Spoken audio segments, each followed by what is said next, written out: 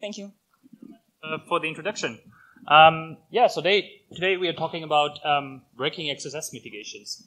So we are um, Christoph Kotowicz um, and Eduardo Vela and uh, myself. And Eduardo is unfortunately not here today, so we are giving the talk. So I will be giving the first um, part of the presentation, and um, Christoph will give the second part of the presentation. so let's see what this is all about. This is about XSS and mitigations. And specifically, we want to, to bypass uh, XSS mitigations. And here you can see Mr. XSS mitigations trying to mitigate XSSs. And, well, he's not doing very well. So let's, let's talk about XSS mitigations first. Um, so one of the major problems in web security is cross-site scripting. And we have put a lot of effort into cross-site scripting to, to fix it or to prevent it. And despite of all this effort, XSS is still omnipresent. So as a data point, for example, in the Google Vulnerability Reward Program, XSS makes 70% of all the reported vulnerabilities. And we have literally dozens of people working just on XSS preventions by rewriting applications, by creating auto-escaping templating systems, by creating detectors and scanners, and still we have such a huge number of XSS. So this is really a fundamental problem um, of the web platform. And that's basically the basic um, assumption of XSS mitigation techniques. So XSS mitigation techniques say XSS vulnerabilities will always exist. So even if we try very hard, we cannot create an application without an XSS. So let's not focus, not only focus on preventing XSS, but let's try to mitigate attacks that results from XSS vulnerabilities. So the attacker model that we will talk about today looks as follows. So you have a website, and as we just learned, um, at some point you will have an XSS in your website. And there is where the XSS mitigation kicks in, so it tries to prevent the exploitation. So how is this, how is this working? So basically, all the XSS mitigations have one main assumptions. They try to identify good and potentially malicious HTML and try to block the malicious ones while allowing the good ones. And today we will look at four different mitigation techniques. We will look at web application firewalls, at browser-based cross-site scripting filters, at HTML sanitizers and the content security policy. And so, for example, uh, web application firewalls and XSS filters try to prevent XSS attacks by blocking malicious, maliciously looking requests. So they will look at the request, will see, oh, there's a script tag in there or an, a JavaScript event handler, so let's just block this request. HTML sanitizers have a different approach. Uh, like you have a piece of HTML that comes from the user and you would like to make sure that the user cannot do anything bad. So you give this to the sanitizer. The sanitizer will parse the HTML and will try to remove all the known bad things or only let through the good, known good things. And the same is true for the content security policy. So the content security policy tries to identify legitimate scripts and illegitimate scripts by forcing developers to put all their legitimate scripts into separate scripts and then by whitelisting these scripts. And you have different ways of, of whitelisting a script, so you can either do that on an origin basis, you can say everything that comes from example.org is trusted, or you can say you can use um, nonces or hashes. So last year we had a paper where we showed that whitelists, origin-based whitelists are, are insecure. So CSP is currently moving to this nonce-based approach, where you say the developer puts everything in every legitimate code into a script, then puts a nonce to the script, and this nonce is a random number that the attacker cannot guess. So when the attacker wants to do an injection, the attacker can create a payload, but cannot outfit the script with the right nonce because it's regenerated at every page load, and it's not known before the page actually loads. So really, the main assumption of XSS mitigations is that you can stop XSS attacks by blocking dangerous tags and dangerous attributes. And what we do, what we asked us in this research is, is this main assumptions of XSS mitigations really true? When building a modern application. Not like the classical reflected XSS that we've seen 10 years ago, but really a modern application that uses, makes heavy use of JavaScript libraries and has all the modern stuff that you want to have in an application. And well, the short answer is no, this assumption is not true. That's what we're going to show you in the next um, 35 to 40 minutes. But in order to do so, I would first like to talk a bit about the basics, about JavaScript frameworks. So the main purpose of a modern JavaScript library is to interact with the DOM. So the goal is to either write to the DOM, to read data from the DOM, to do user interact, to, to react on user interactions and then change the DOM based on the behavior of the user and so on. And the main way of doing so is so-called selectors. So here we see a very simple example. So we see like a custom tag, and it has some ID attributes and class attributes and some, some attributes. And selectors allow you to query the DOM for these, these elements. So for example, you can query elements by, by the name of the tag, you can query them by the ID, by the class, or you can even query the DOM by attributes. You can say, give me all the attributes that have, for example, a data foo attribute. And you can even do more. You can say, give me all the elements that have a data foo attribute that begins with bar, which is the last example in this row. And these, these selectors come in various flavors, and there are a lot of like alias functions, for example, get element by ID or get element by class name in the DOM that allow you to, to interact with the DOM. So, but, but basically, you can use the query selector all function to run all kinds of selectors. And these selectors are really core to all JavaScript libraries. And I guess all of you know the super famous jQuery dollar function. So that's, so jQuery is the fundamental of the web. Almost every website uses it. Almost every framework is based on jQuery. And the core of jQuery is this dollar function. And actually, it's just a, a, a, glorified wrapper around query selector all, the function that we've seen in the last example. So you, the dollar function accepts an arbitrary selector. This selector then selects elements from the DOM, so you get a set of elements, and then with jQuery you, you, you do some actions based um, on, on this selector. And selectors come in different kind of flavors. So this is the most famous one. Another example, for example, is the, boot, the Twitter Bootstrap um, framework. So Twitter Bootstrap uses what they call a data, data API or data attributes-based API. So they also use selectors to find all the, all the elements in the DOM that have a certain, certain attribute set. And here we have a tooltip example. So if you want to write a tooltip in, in the Bootstrap framework, which is like a, a set of UI components, uh, you just put some data attributes into your, onto your element. For example, you say data toggle equals tooltip, and then there's some userland and, and Bootstrap code that bootstraps the tooltip functionality, and then to, Bootstrap will just create this tooltip functionality for this element and render this title tag onto this page. So this is also done by selectors, although you cannot see it from, from this example. And this is an example I would like to, to dig into a bit and see how a, a library would implement uh, such, such a functionality. And here we can see a simple example of a button. So you see we have a data role attribute that says, hey, I'm a button, and that may be a functionality that enriches the button with some CSS functionality, styles it, does a few crazy JavaScript and CSS uh, magic to it so that it looks nice and behaves nice when you click it or ho hover over it. And what you see here, we have a data role attribute that says this is a button, and you have a data text attribute that is the text that should be rendered on the button. So how would you go, go to implement this? So in this case, we just use jQuery, right? And we use selectors over here. We say, hey, as a framework, give me all the things that have this data attribute set on the page. So to turn this into a button. Then you have some magic that turns this into the button, adding, adding styles and, and other functionality. And then in the end, you, you take this data text attribute and you just render it as the text of the button. And now I have a question for you. So are there any security issues in this code? Do you think this code is perfectly safe, or are there any issues, especially with keeping mitigations in mind? There's an idea? Yes. So the problem, the security problem is here. So in general, in, in a normal web application or library, this would not be a security issue. This seems like, like normal code that you see very often. But the problem here is that this data text attribute is actually rendered as HTML. So basically, this code here turns this data text attribute in a magic property that suddenly has the capability of executing arbitrary HTML code. And this is exactly what we call a script gadget.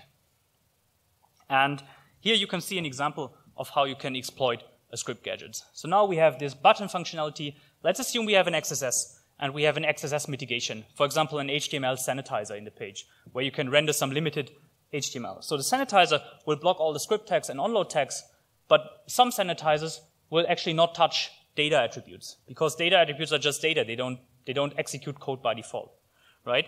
But now this code down here turns this data attribute in a code execution attribute, basically.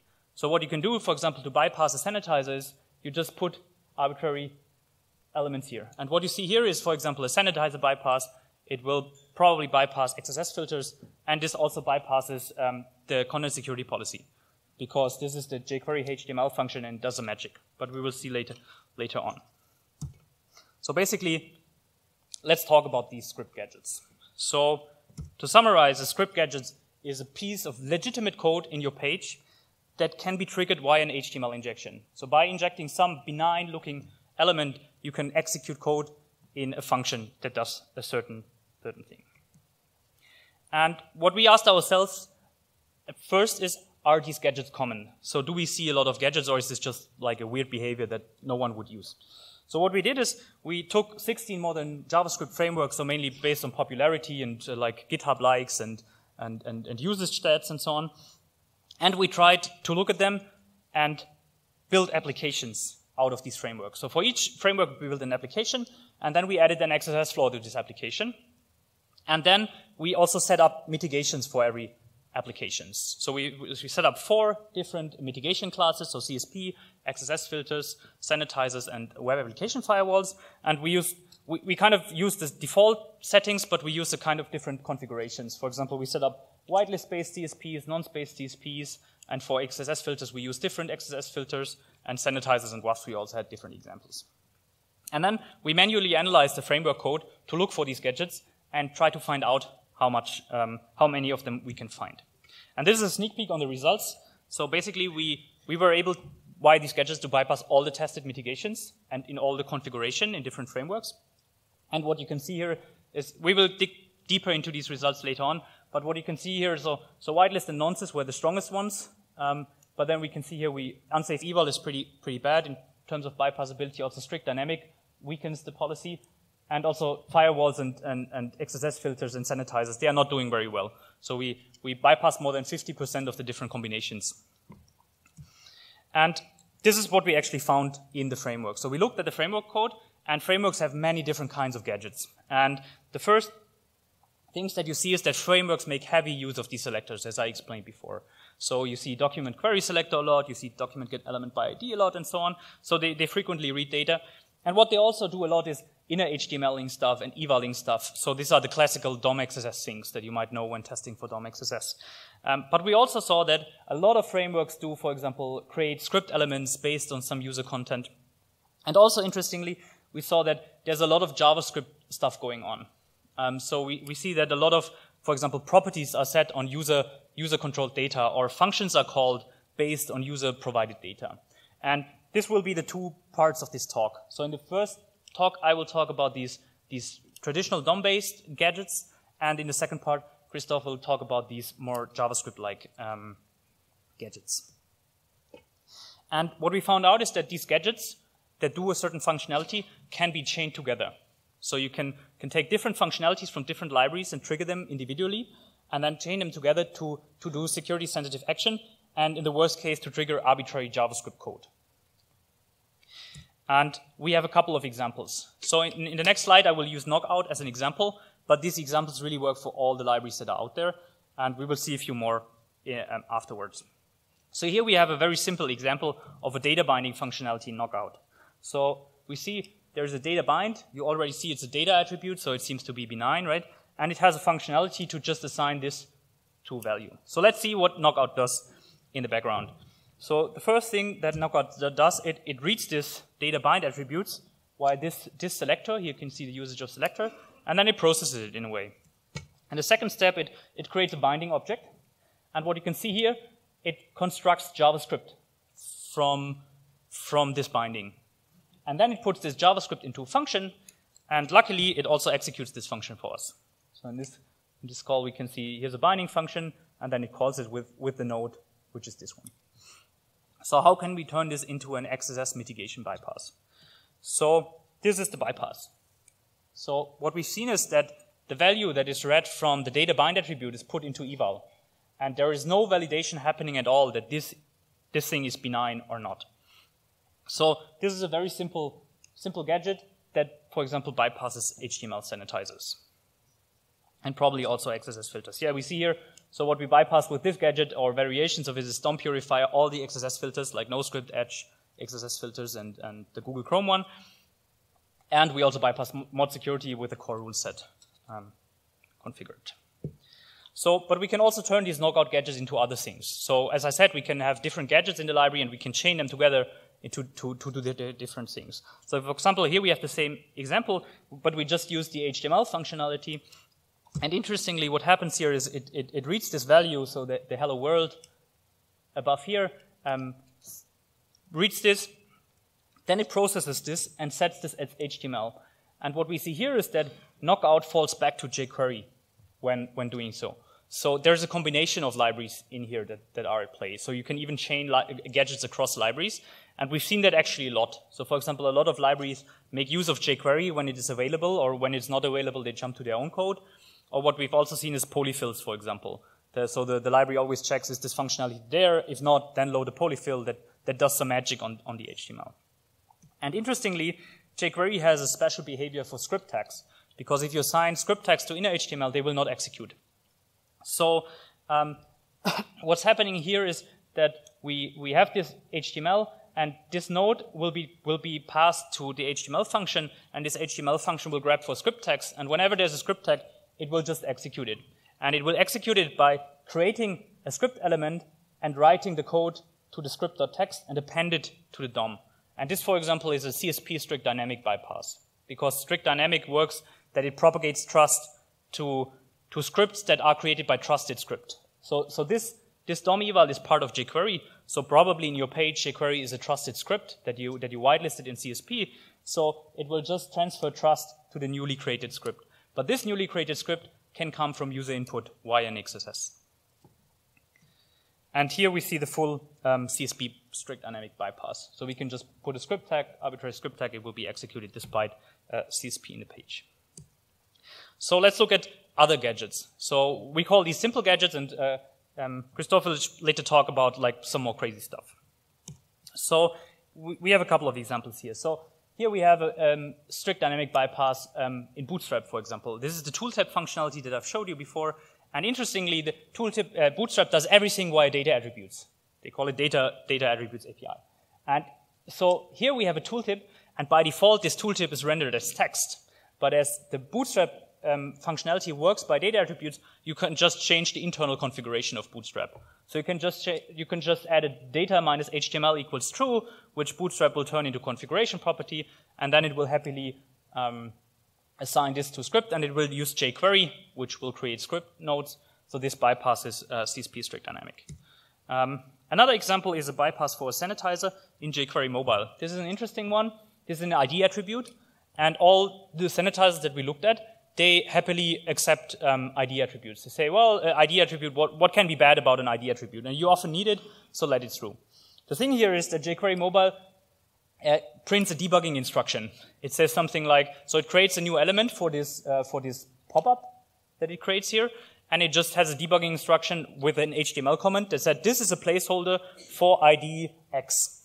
And it puts it into an HTML comment. So you can just break out of the HTML comment, add a script tag, and the ID attribute magically becomes a script execution attribute. Another example is um, the closure library.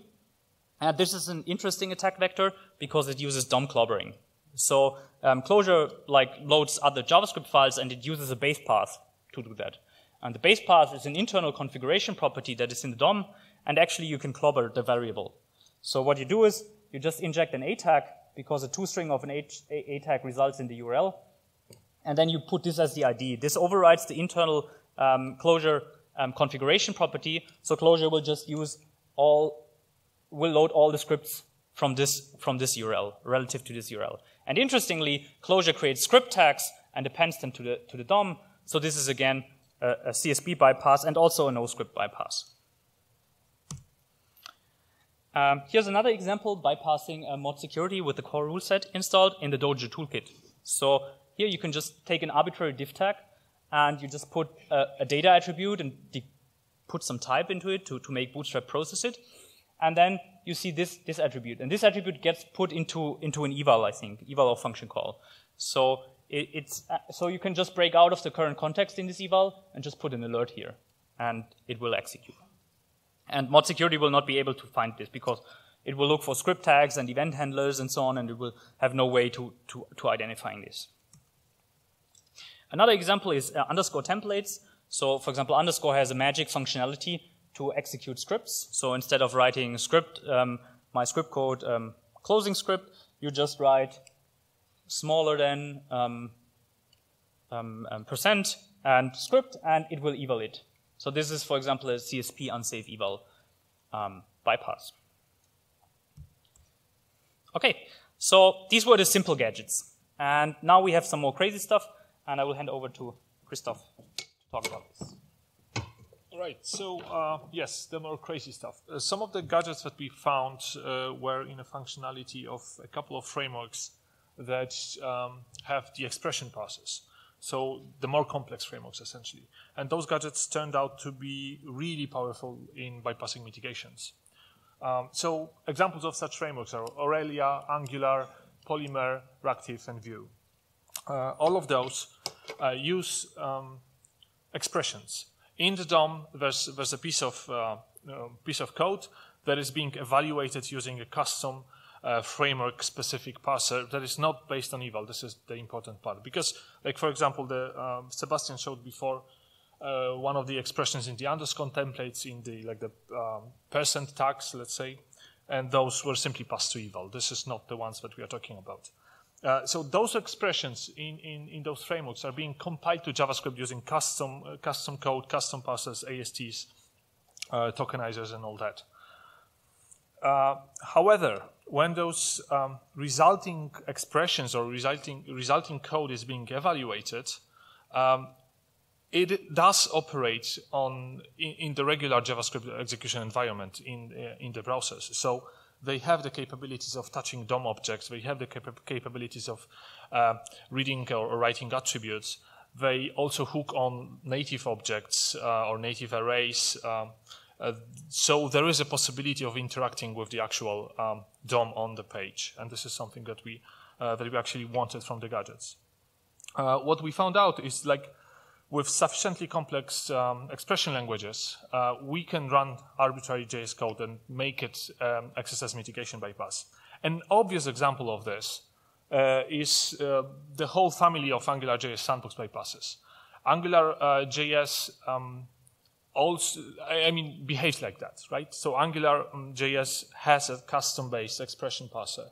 And what most of the sandbox bypasses for AngularJS framework showed uh, throughout last years, I, I, I believe, is uh, that you can escape this parser or es uh, escape the execution environment. This is virtual sandbox that tries to limit what you can execute uh, from within the expression language uh, into, well, alerting essentially, right, as a, as a proof of concept. So uh, our research kind of builds upon that, but in a slightly different context. let's see an example. So for example, uh, Aurelia framework. That's um, this is an example expression language, uh, uh, expression language expression here. So um, within this um, um data cell, just um, output the customer customer's name, right? So uh, how does uh, Aurelia implement this? Well, it has a couple of gadgets as we as we call them, right? So uh, in the expression parser first. When it encounters the dot symbol, so this one from the customer, uh, it creates a new object which is called access member, uh, just so later on it can uh, you know, traverse this uh, object graph and, and execute those uh, particular members. And when this expression is being evaluated, uh, the access member evaluate property is being called. And in this case, it simply returns, well, some property of, of an object. So in this case, there would be an object named customer or representing a customer, and it would have a name property, and evaluation, calling evaluate function will just return this uh, name, uh, the value of this name property. Uh, they also have a function called gadgets in this particular framework. So, for example, you can um, you can call a say a say hello function, which is part of the legitimate uh, Aurelia application code, right? This is not something that we actually inject. And this function does something. It doesn't really matter here. Uh, what matters is when Aurelia tries to pass this, it encounters like these open parentheses, and then it creates a call member uh, object, uh, passing all like function name and potential arguments uh, being extracted from here, and so on and so forth. Uh, later on, when this expression is, to be evaluated, which usually happens when, well, the template is being rendered, for example, uh, is uh, the function so this is supposed to be uh, like the func is supposed to be a reference to the say hello function here. Like again, a piece of legitimate JavaScript code, part of the application using Aurelia framework. And this function is simply being called. Fun function.apply in JavaScript is just calling a function uh, bound to a given object and with certain arguments being passed. So as you can probably see, uh, those expressions or those, those gadgets, those uh, snippets of code are pretty benign on, on their own. Like uh, they only implement the functionality of, of the framework. Uh, however, uh, we can still turn them into arbitrary code execution. How do we do that usually? Well, usually when we start the expression, so expressions are evaluated in a certain context. The context often is uh, some kind of element in the DOM or element in a template within the DOM. Um, and we can traverse that using the property accessors to, uh, from, from a node to window. You will see an example in, in a second. And then once we have the reference to the window, we can again abuse this expression language in order to get the reference to the alert function of the window as, as a proof of concept, right? And then we can um, abuse the expression language, the, the, the function call one, um, to, uh, well, essentially execute this alert function. And this is how it looks like for Aurelia. So we have, uh, we store the reference to the current node, which is, there's a ref attribute simply. Uh, and then we uh, execute this particular expression, right? So this will evaluate to uh, this div element. Then we check the owner document, uh, which will return the document element or the, the, the, document object. Then we check the default view, which is a reference to the window. Then we just call the alert, essentially. Um, why is this one interesting? Well, because we essentially, that's like a code reuse attack. So uh, we never actually created a new script element. We never actually created something um, that was not there before in the DOM or in the execution environment we reused the functions that were always available, and this successfully bypasses all mitigations that we tested. Uh, even the, the ones that we found uh, more strict uh, or most uh, resistant to, to gadgets, so whitelist and nonce-based CSPs. Uh, and there's a couple of examples like that. Some of them are, like Sebastian said, more crazy because you need to trigger some tricks uh, in those frameworks. But you can still do that. Like here, I override some private property of, of the um, expression parser in, uh, in Polymer uh, and assign it, well, the, the window object essentially, right? And then I call the alert function, which is being evaluated against this root data host, which now is a window. So yes, um, we just call alert here. Or for example, in Angular, uh, well, this, this one is kind of popular. Uh, the Angular JS bypasses are pretty known. So again, we just take the event object and then uh, get the reference to, to the window and then just um, call um, the alert on this window. And what is important here, like Angular makes it um, invisible sort of to the mitigations because it does repass the whole thing and executes it on our behalf, let's say. Uh, and you can, again, chain those gadgets into making something uh, way more powerful or to execute arbitrary scripts because alert is too simple, right? So here, for example, I overwrites the factory arguments, uh, the first factory argument uh, with a string script. So I try to convince the factory uh, function being called the next time to create a script element instead of whatever it was supposed to create. And then I just call this factory function uh, and assign the result, so a new script element to the script property here of this particular uh, div element. Then I kind of traverse here and set the source element of this script to data alert one. So this is a data URL that will alert when loaded as a script. Then I do some reference and essentially uh, set up a me reference to this particular div.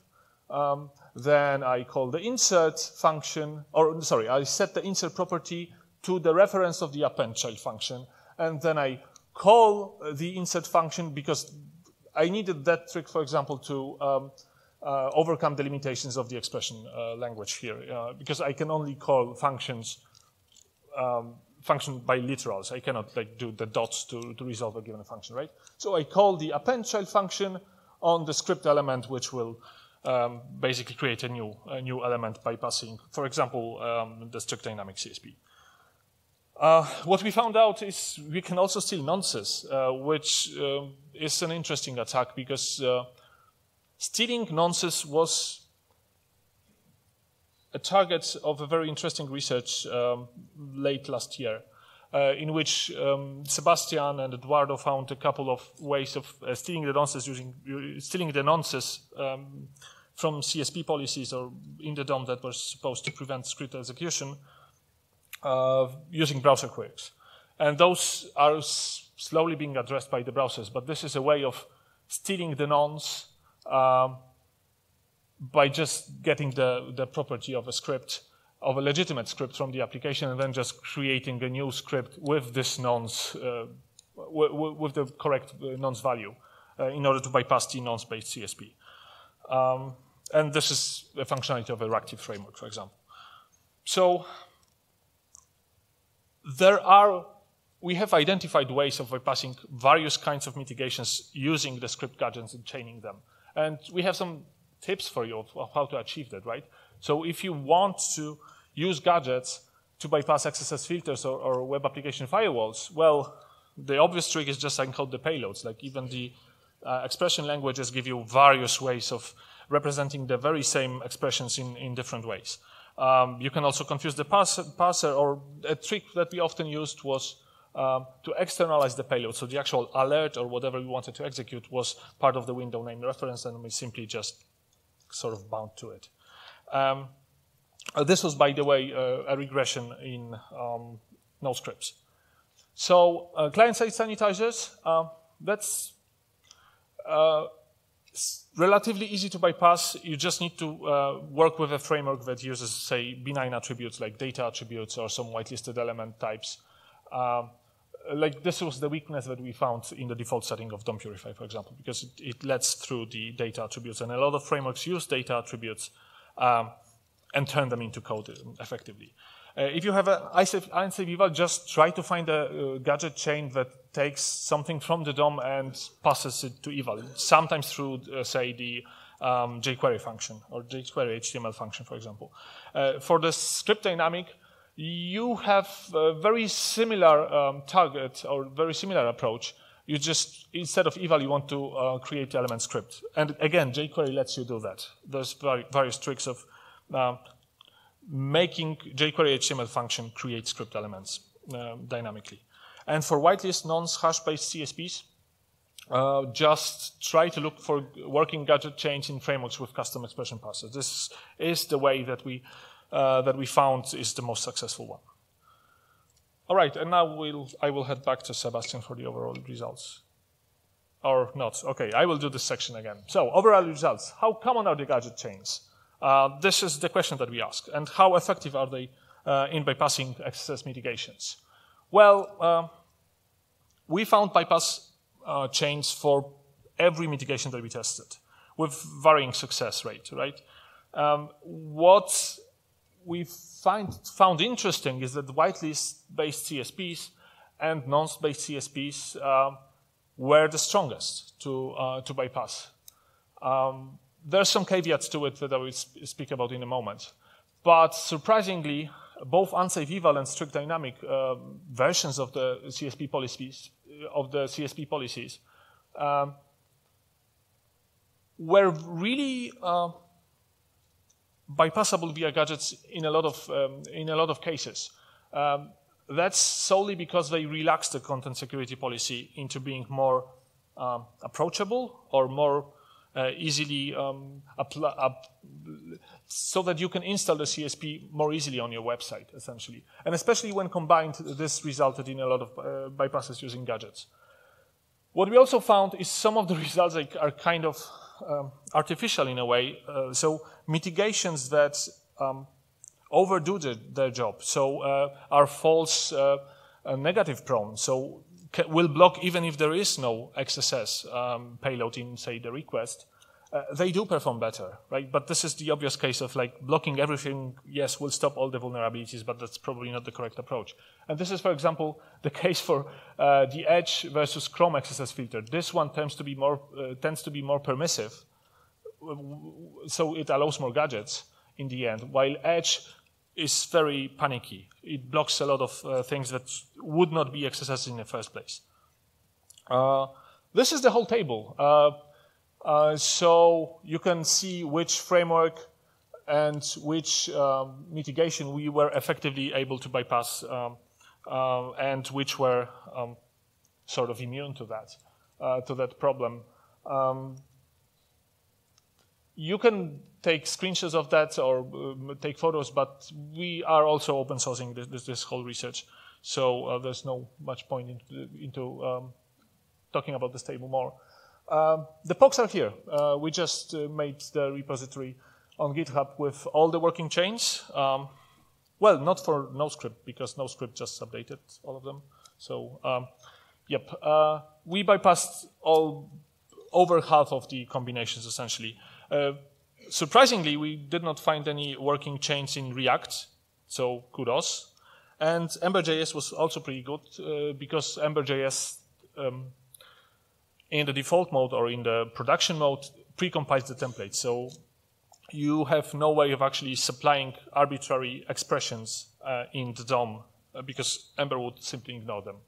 And what is surprising uh, is XSS in Aurelia, uh, Angular, Polymer can bypass all the mitigations using the, the expression parser tricks. Now, there are some caveats to that, right? So this research uh, alone cannot be or should not be used uh, to compare the mitigations between themselves, solely because um, we only evaluated one aspect, which is bypassability via script gadgets.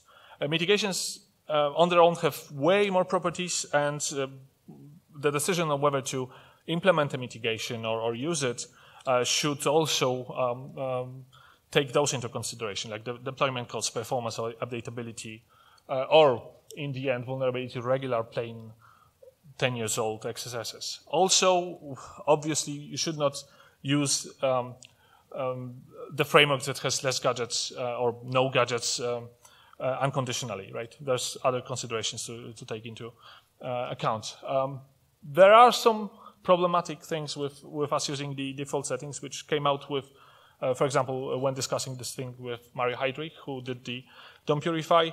And there is a setting, for example, for DOMPurify that will stop some of the gadgets. Um, it's called Safe for Templates, so go, uh, go look into it. We decided to just use the default setting for, for every mitigation to have some sort of comparable results. And the userland code was necessary in some instances, but uh, the code that we used actually to trigger the gadgets, we think it reasonably exists in, in a real-world application. So, like, for example, we use like the very basic jQuery function uh, in one of the uh, instances. And now I will go back to Sebastian to give you some sort of summary. Okay, summary and conclusion. I think we need to hurry a bit because time is running out.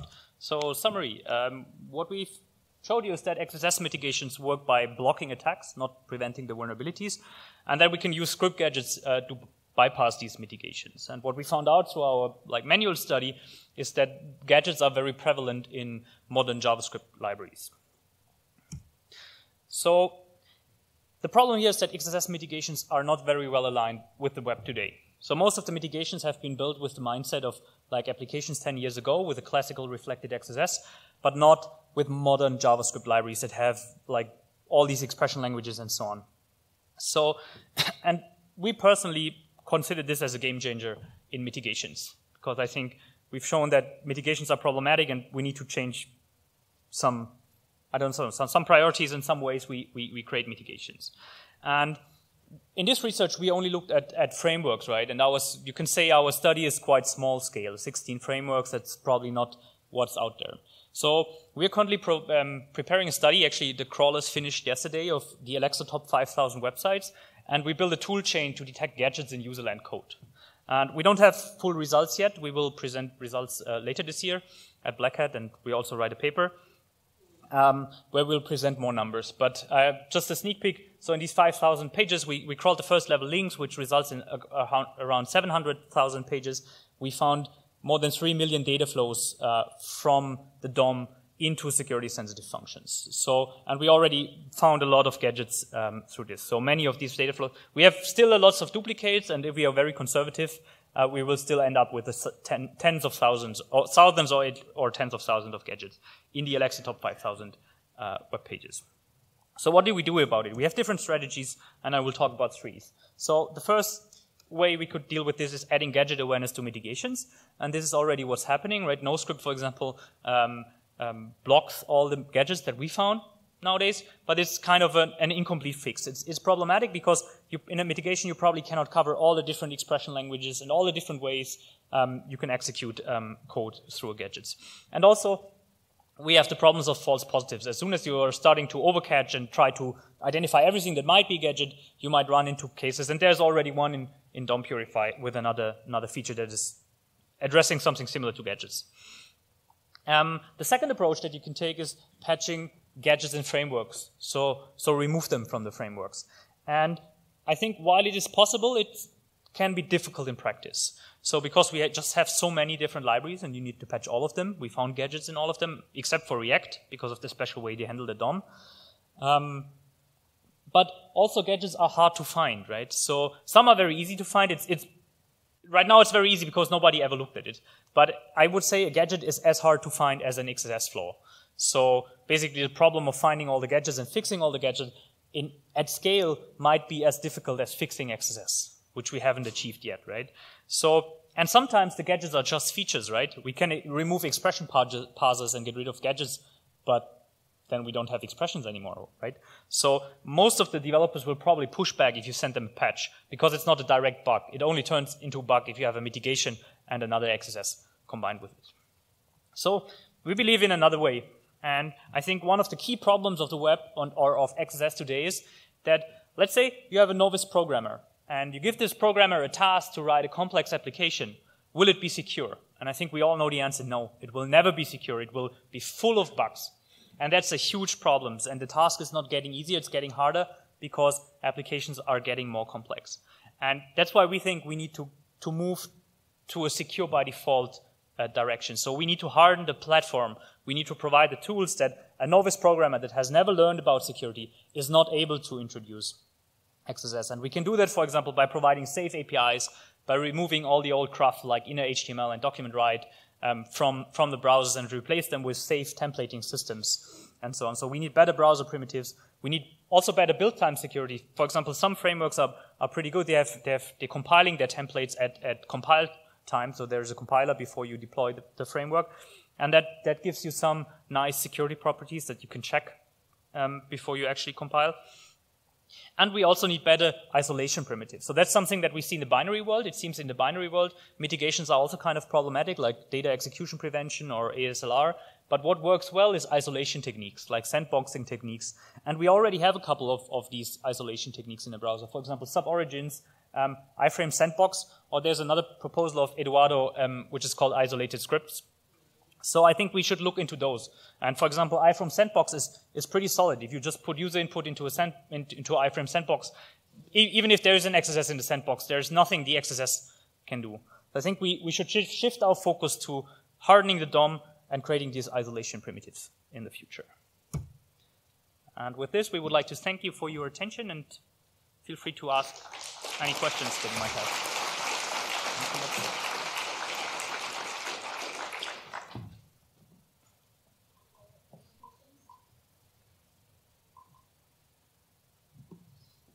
No questions? Yes. Uh, so you, there was no gadget chain in Angular 2 because it precompiles the templates. Is that what you're saying? No, so we haven't looked at Angular 2 in this research, but we, we looked at React, and React didn't have any, any gadgets because they have a very special way of handling um, the DOM interactions. So, so usually frameworks read from the DOM, like all the templates are in the DOM, and then um, they, they are written back to the DOM, right? So you read and write. And React takes a different approach. So in, in React, you can write your templates directly in your JavaScript file. You just write, really write HTML in, and you compile the JavaScript files. So the template from the JavaScript file is turned into a piece of JavaScript by the compiler, and this and they never read from the DOM. This they, they always only write from the DOM, uh, uh, write to the DOM. So there is the template. It, uh, whenever you update it, it will be rewritten and updated. So you only have a write flow but never a read flow. But they can, can only achieve this because they have pre-compiling. So you couldn't do this functionality in a, like a standard JavaScript um, thing today.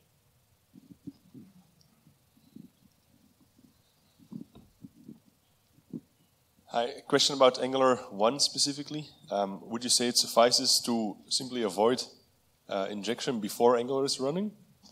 So is Angular capable of sanitizing these things itself? Um, yes. So when the Angular bootstraps, it basically treats a subset of it of the DOM as the template, right? And it executes all the expressions from from it. Uh, so yes, in theory, if if you prevented XSS's pre-bootstrap, then you would have a secure, let's say, a basic Angular application would be secure in that case. Uh, however, first of all, yes, we cannot fix XSSs. That turns out to be uh, a very prevalent problem of the web. Uh, so uh, the even if you have, say, I don't know, server-side injection, in the sense that like a regular reflected XSS, that is being sanitized on a server side, this would still be a problem for Angular. But second of all, what is important in, in practice, a lot of Angular applications, especially the, uh, I'm talking about Angular 1 uh, applications, they compile templates at runtime. Like in the Angular directive, they do dollar $parse or uh, dollar $compile, uh, again taking data from the DOM and doing some sort of like a double interpolation on dynamic template compilations. And if that part of data, even injected post-bootstrap, uh, was tampered with, right, was a result of the injection, then you have the original problem.